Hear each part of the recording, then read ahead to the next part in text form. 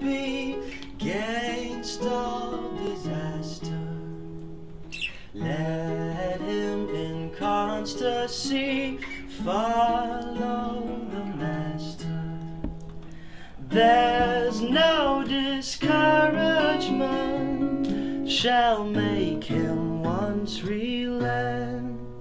His first avowed intent to be a pilgrim. Whoso beset him round with dismal stories do but themselves confound his strength the more is.